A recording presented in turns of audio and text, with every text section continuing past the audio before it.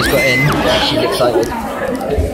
Um, and she's going to record my actions when I go in for my seat. But um, I'll talk to you lots uh, a little bit later.